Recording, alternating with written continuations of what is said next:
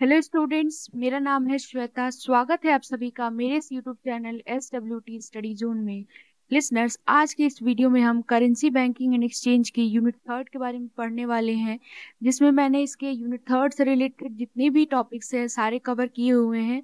मैं ट्राई करूँगी कि इसको कम टाइम में आपको पूरा का पूरा यूनिट रिविजन करा दूँ। तो इसमें मैं सबसे पहले जो टॉपिक पढ़ाने वाली हूँ, वो है टाइप्स ऑफ़ बैंक फिर सेंट्रल और कमर्शियल बैंक का उसकी मीनिंग उसके फ़ंक्शन रीजनल रूरल बैंक क्या होते हैं ई बैंकिंग और पोस्टल बैंकिंग तो ये आपकी यूनिट थर्ड का सिलेबस है तो इसके बारे में आज हम बात करेंगे. तो आइए इसमें से स्टार्ट करते हैं. एक और बात, अगर अभी तक आपने हमारे इस चैनल को लाइक शेयर एंड सब्सक्राइब नहीं किया हो तो प्लीज़ कर लीजिएगा और इस वीडियो को अंत तक देखें ताकि आपको सारी चीज़ें डिटेल में क्लियर हो पाए. अगर कोई चीज़ नहीं समझ में आती है, नहीं क्लियर होती है तो आप मेरे कमेंट सेक्शन में बता सकते हैं, मैं उसको दोबारा से बना करके अपलोड कर दूँगी. और लिसनर्स अगर वीडियो अच्छी लगती है तो भी ज़रूर बताइएगा, क्योंकि इससे हमें मोटिवेशन मिलती है नए नए वीडियोस बनाने के लिए। बाइए स्टार्ट करते हैं। जैसा कि देख सकते हैं, सबसे पहले बैंक यानी कि बैंक्स क्या मीनिंग होती है? तो जो बैंक शब्द है, वो डिफरेंट डिफरेंट इकोनॉमिस्ट के द्वारा डिफरेंट डिफरेंट तरीके से इसको डिफाइन किया गया है। लेकिन एक बैंक क्या है? एक पर्सन एक कॉरपोरेशन है, जो क्या करता है? पब्लिक से रिसीव करता है और payable on demand by cheque यानी कि और उसमें हम डिपॉजिट भी कर सकते हैं। यानी कि इसमें ये बोला गया है बेसिकली कि एक बैंक जो है कॉरपोरेशन है, जो कि होल्ड करके रखता है रिसीव पब्लिक से, यानी लेता है और डिपॉजिट क्या करता है, देता है चेक के द्वारा। तो इसमें बेसिकली यही बताया गया है लिसनर्स की जो एक बैंक जो होता है वो फाइनेंशियल इंस्टीट्यूशन है, जो मनी को एक्सेप्ट करता है पब्लिक से, किस पर्पज से? ताकि वो लैंड कर सके और इन्वेस्ट इन्वेस्ट कर सके उसको। और बोला गया है कि इसमें हम, इसमें से हम विड्रॉ कर सकते हैं चेक के द्वारा ड्राफ्ट के द्वारा या फिर किसी भी अदर चीज़ के द्वारा। तो बहुत तरीके के बैंक्स होते हैं, जैसे कि आप देख सकते हैं टाइप्स ऑफ़ बैंक मैंने दिया हुआ है। Commercial bank industrial bank agricultural bank exchange bank और मिसलेनियस बैंक तो इसके बारे में बात करूँगी कि क्या क्या होते हैं। तो कमर्शियल बैंक एक्सेप्ट करता है स्मॉल डिपॉजिट्स पब्लिक से और उसको ह्यूज कैपिटल में कन्वर्ट कर देता है।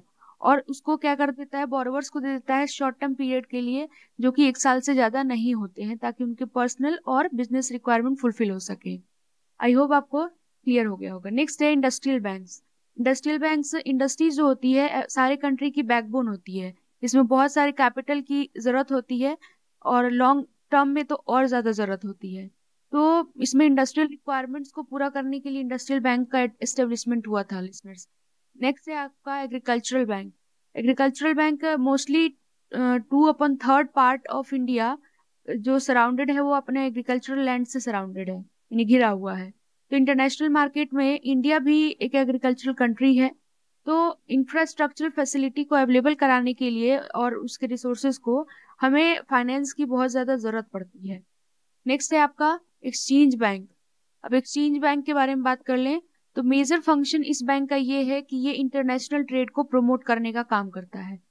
नेक्स्ट है आपका मिसलेनियस बैंक मिसलेनियस बैंक में कि अगर हमें लोगों के स्पेशलाइज्ड और पर्सनलाइज्ड नीड्स को पूरा करना है तो हमें डिफरेंट काइंड ऑफ़ बैंक की ज़रूरत पड़ती है, जो कि अलग अलग टाइम पे अराइज होते हैं।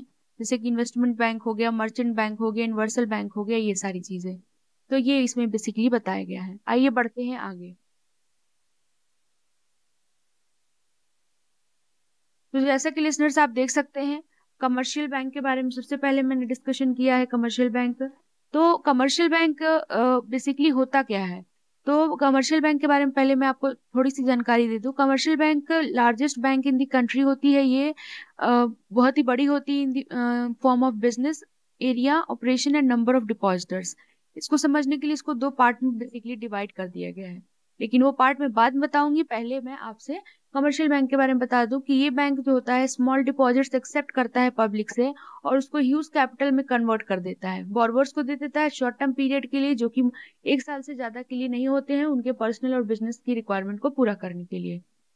आगे है क्लासिफिकेशन ऑफ़ कमर्शियल बैंक यानी कि कितने तरीके के होते हैं तो दो बेसिस पे क्लासिफाई किया गया है on statutory basis on ownership basis तो स्टेचुरी बेसिस पे स्टेचुरी बेसिस के बेसिस पे इसको दो पार्ट में डिवाइड किया गया है शेड्यूल्ड बैंक और नॉन शेड्यूल्ड बैंक तो शेड्यूल्ड बैंक क्या होता है? मतलब वो बैंक जो रजिस्टर्ड हुआ है second schedule of RBI act 1934 के अंडर में और जो इकोनॉमिकली और फाइनेंशियली साउंड नेक्स्ट इसमें बोला गया है कि नॉन शेड्यूल बैंक यानी कि वो बैंक जो कि नहीं रजिस्टर है as per to second schedule of RBI act 1934 next है ओनरशिप बेसिस पे बात कर ले तो बैंक्स को ओनरशिप बेसिस पे public sector bank private sector bank और फॉरेन बैंक में इसको क्या किया गया है?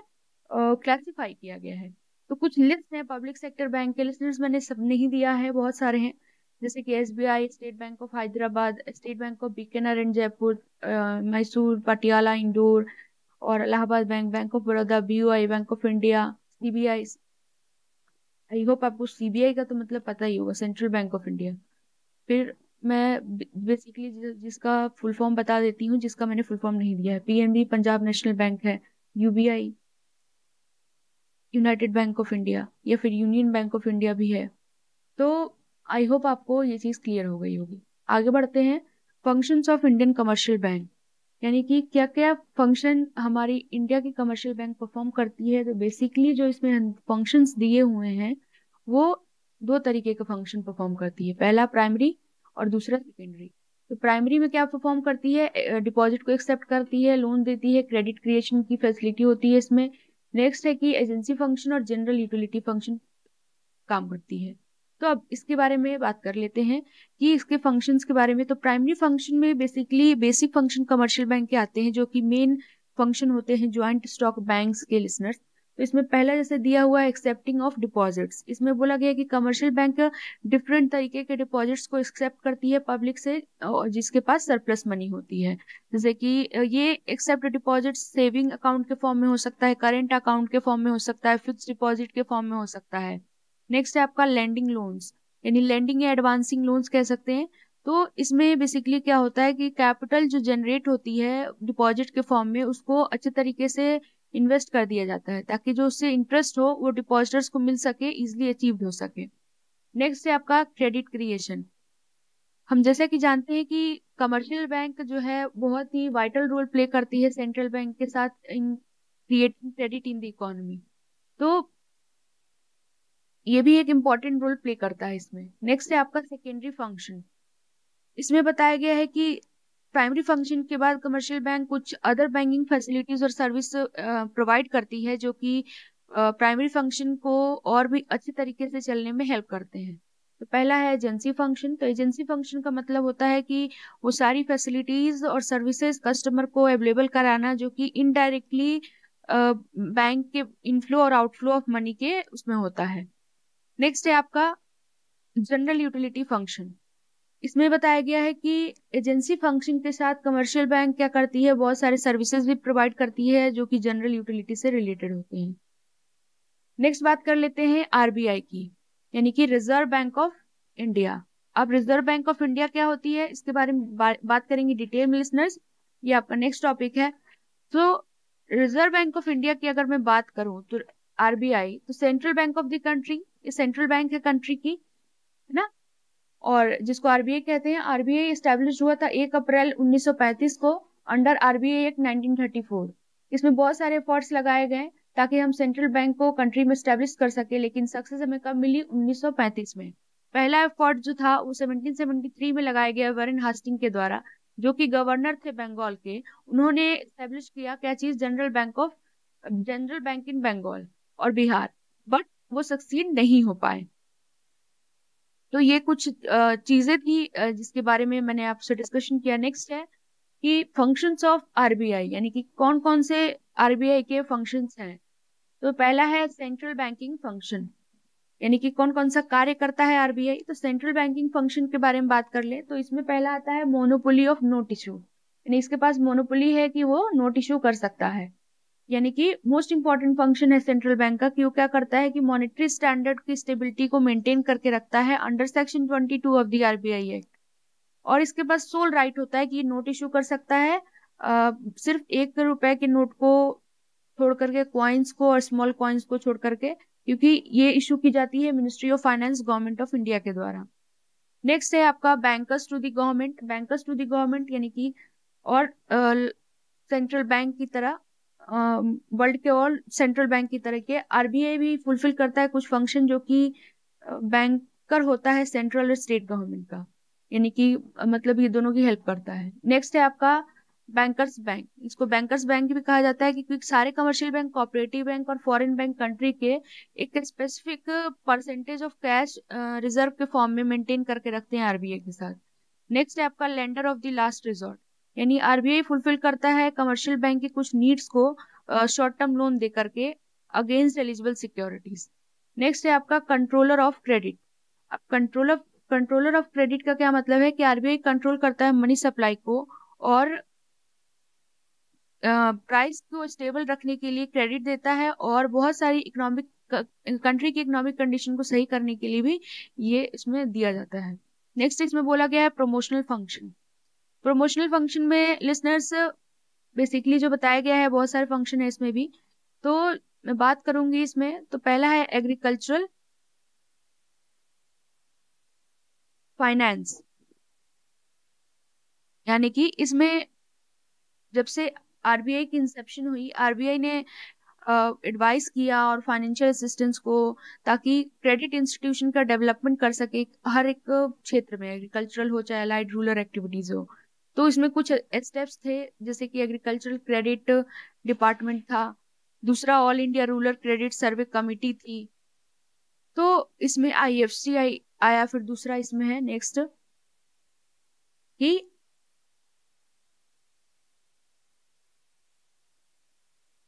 नेक्स्ट है लिसनर्स इंडस्ट्रियल फ़ंक्शन जैसे कि इसमें बताया गया है इंडस्ट्रियल फ़ंक्शन में ही बेसिकली uh, जो है आईएफसीआई आता है आईडीबीआई आता है और आईआरबीआई आता है एसएफसी आता है और सिडबी आता है। यानी कि आईएफसीआई क्या होता है? Industrial Finance Corporation of India ये सेटअप हुआ था 1948 में आरबीआई के द्वारा, ताकि ये मीडियम और long term financial assistance industries को प्रोवाइड करा सके। फिर आता है आईडीबीआई यानी कि Industrial Development Bank of India इसका मतलब ये एक स्टैब्लिश हुआ था मेन फाइनेंशियल इंस्टीट्यूशन की तरीके 1964 में, ताकि ये इंडस्ट्रीज़ को फाइनेंस दे सके। और नेक्स्ट है आपका आर आर बी आई यानी कि Industrial Reconstruction Bank of India Industrial Reconstruction Bank of India 1985 में ये सेटअप हुआ ताकि जो सिक और क्लोज्ड इंडस्ट्रियल यूनिट्स हैं, उनको सर्वाइव किया जाता सर्वाइवल के लिए इसको सेटअप किया गया। यानी कि for the survival of sick and closed industrial units तो इसको सही करने के लिए नेक्स्ट है आपका एसएफसी यानी कि स्टेट फाइनेंशियल कॉरपोरेशन एस के अंडर में इस एक्ट के ज़रिए 1951 स्टेट फाइनेंशियल कॉरपोरेशन बैंक का स्टेब्लिशमेंट हुआ ताकि हम जो मीडियम और स्मॉल स्केल इंडस्ट्रीज़ है उनका डेवलपमेंट कर सकें। फिर आता है SIDBI. SIDBI Small Industrial Developmental Bank of India, यानी कि फाइनेंशियल और नॉन फाइनेंशियल असिस्टेंस का लार्जर फ्लो हो सके स्मॉल स्केल इंडस्ट्रीज़ में तो इसका स्टेब्लिशमेंट किया गया। और कब किया गया? 1990 में सिडबी वॉज़ स्टेब्लिश यानी कि स्टेब्लिश किया गया इसको। तो आई होप आपको समझ में आ गया होगा। नेक्स्ट हम बात कर लेते हैं लिसनर्स तीसरे फ़ंक्शन के बारे में, यानी सुपरवाइजरी फ़ंक्शन क्या क्या होते हैं? तो पहला हुआ है, दिया है लाइसेंसिंग ऑफ़ बैंक्स यानी कि स्टेचुरी प्रोविज़न के अकॉर्डिंग जितनी भी कंपनी होती है, उनको एक बैंकिंग बिज़नेस इंडिया में सेटअप करना होता है, जिसको कि लाइसेंस लेना पड़ता है आरबीआई से। तो लाइसेंस अप्रूव करने से पहले रिज़र्व बैंक उसको स्क्रूटनाइज करती है, जहाँ पर मिनिमम रिक्वायरमेंट कैपिटल की रिज़र्व की और एसेट की फुलफिल होनी चाहिए कंपनी के द्वारा। वो देखती है कि है कि नहीं है।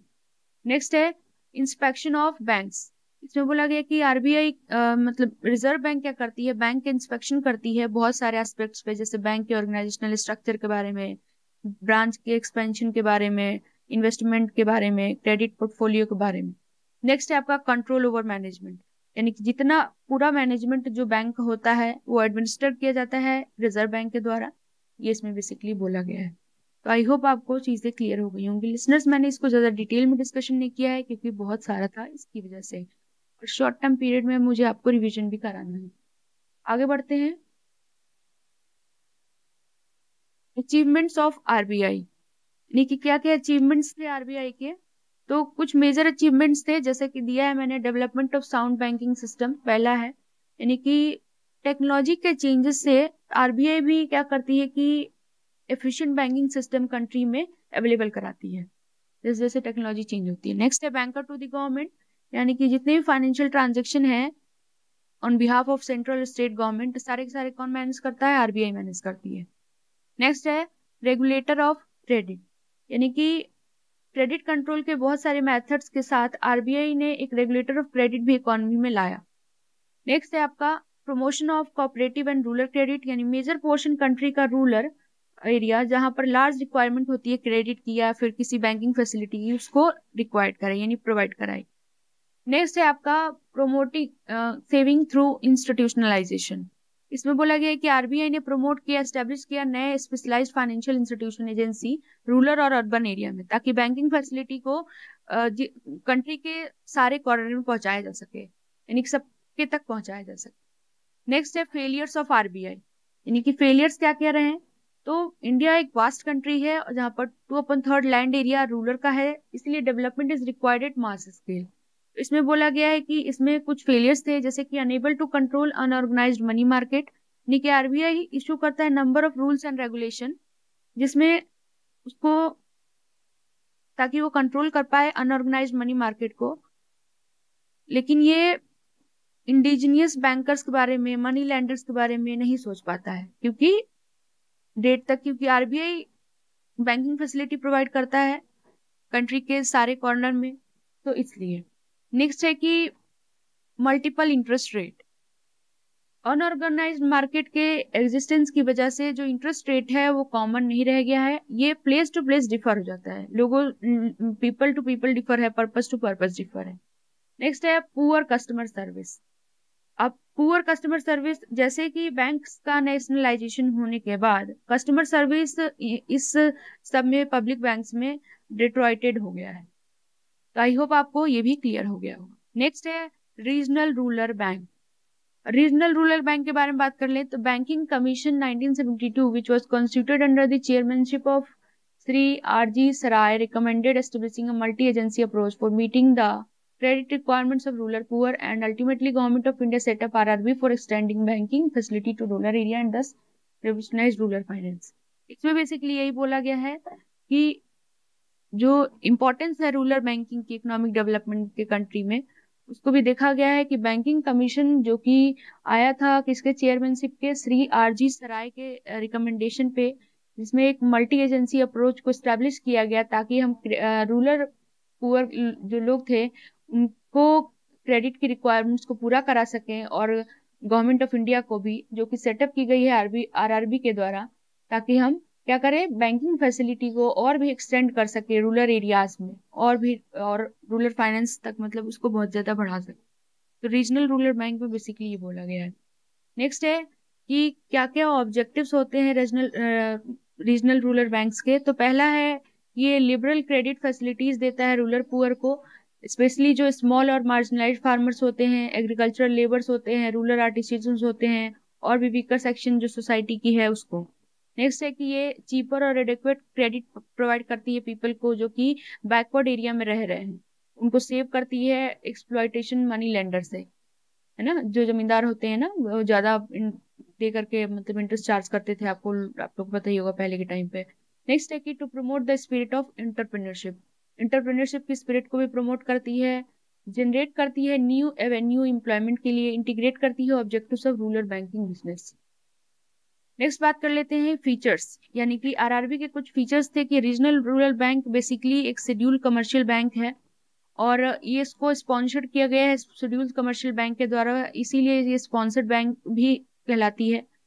इसको एक कोऑपरेटिव सोसाइटी के तौर पे भी देखा गया है for the object of income tax act of 1961 weaknesses of RRB क्या क्या वीकनेसेस हैं इसके? तो जैसा कि आप लिसनर स्क्रीन पर देख रहे हैं बेसिकली मैंने तीन इसके वीकनेसेस के बारे में डिस्कशन किया हुआ है। तो पहला है hasty and lack coordination in branch expansion यानी कि कोऑर्डिनेशन की कमी होती है, क्योंकि इसमें जो ब्रांच एक्सपेंशन है रीजनल रूरल बैंक का, वो हेस्टी होता है और इसमें कोऑर्डिनेशन की कमी होती है, जिसकी वजह से ब्रांच को एक्सपेंड करने में डिस्पैरिटी आती है।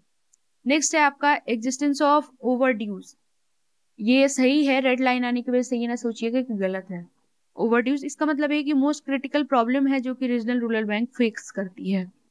नेक्स्ट है लॉसेस आरबीआई क्या करती है? मॉनिटरिंग करती है लॉसेस की. आरआरबी का जो कि रिफ्लेक्ट होता है पुअर फाइनेंशियल हेल्थ हेल्थ से, जो कि हमारे जोग्राफिक कवरेज को दर्शाता है.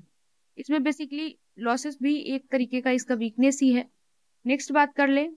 नेक्स्ट है लिसनर्स ई बैंकिंग यानी कि इसका फुल फॉर्म जो है वो होता है इलेक्ट्रॉनिक बैंकिंग ई बैंकिंग यानी कि कंप्यूटर का यूज़ करके टेलीकम्युनिकेशन का यूज़ करके जब हम बैंकिंग ट्रांजेक्शन करते हैं और टेलीफोन के द्वारा या कंप्यूटर के द्वारा, चाहे मतलब किसी भी ह्यूमन इंटरेक्शन के ज़रिए तो उसी को हम ई बैंकिंग करते हैं।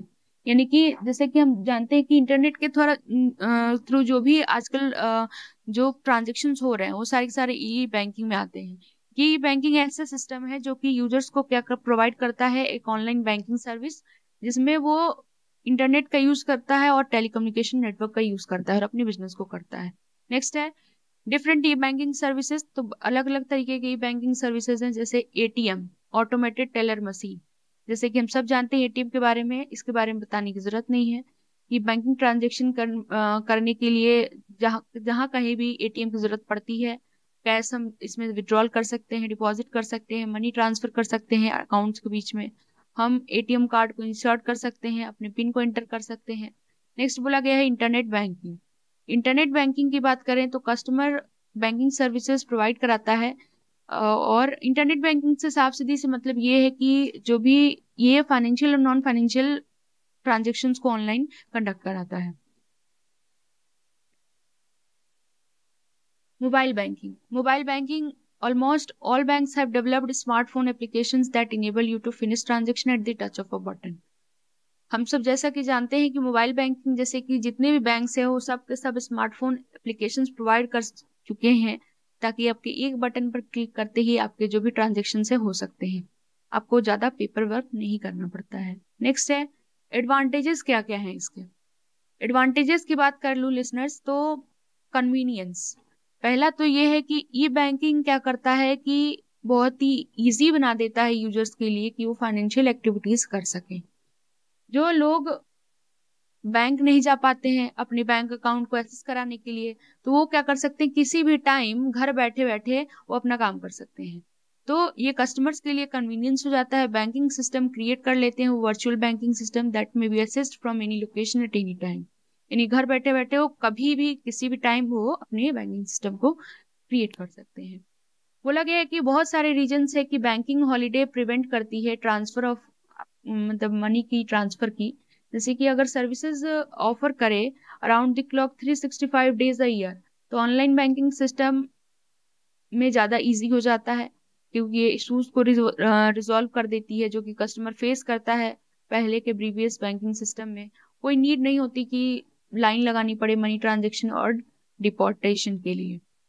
नेक्स्ट बोला गया इसमें लिसनर्स की फास्टर सर्विस यानी कि people don't have to wait in line to pay their bills और transfer money bank thanks to the system which offer quick services interest instant money transfers between accounts are possible with internet payment option इसमें basically बोला गया है कि ई banking की वजह से हमें फास्टर सर्विसेज़ प्रोवाइड होता है, लोगों को वेट नहीं करना पड़ता है लाइन नहीं लगाना पड़ता है किसी बिल का पेमेंट करने के लिए मनी को ट्रांसफ़र करने के लिए। इस सिस्टम का थैंक क्यों कहा गया है? क्योंकि ये क्विक सर्विस प्रोवाइड करती है। इंस्टेंट मनी ट्रांसफ़र हो सकता है अकाउंट के बीच में पॉसिबल हो जाता है इंटरनेट पेमेंट ऑप्शन के ज़रिए। तो आई होप आपको ये भी क्लियर हो गया होगा।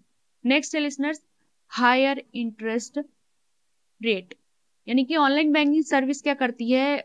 ऑफ़र करती है यूज़र्स को हायर इंटरेस्ट रेट और ये डिक्रीज करती है ऑपरेशनल कॉस्ट ऑफ़ बैंक को ताकि वो better interest rate consumer deposits को प्रोवाइड करा सके। नेक्स्ट है सर्विस क्वालिटी भी प्रोवाइड करती है। यानी कि ये क्लाइंट की सर्विस को रेज करती है। ऑनलाइन बैंकिंग में पेमेंट करना बहुत ही ज़्यादा आसान होता है सिक्योर होता है फॉर्टलेस होता है। और ई बैंकिंग एप्स का यूज़ करके कस्टमर क्या कर सकता है? जितने भी अकाउंट रिलेटेड ट्रांजेक्शन उसको ट्रैक कर सकता है। नेक्स्ट है आपका twenty four into seven facility यानी कि बोला गया कस्टमर ई बैंकिंग सर्विसेज़ का सेवन डेज़ अ वीक यानी कि एक सप्ताह में सातों दिन और चौबीसों घंटे एक दिन में यूज़ कर सकता है। कस्टमर अपनी बैंकिंग सर्विसेज़ को एसेस कर सकता है products at any time from any location किसी भी टाइम पर किसी भी लोकेशन में। सो लिसनर्स आई होप आपको समझ में आ रहा होगा जो भी मैं बताने की कोशिश कर रही हूँ।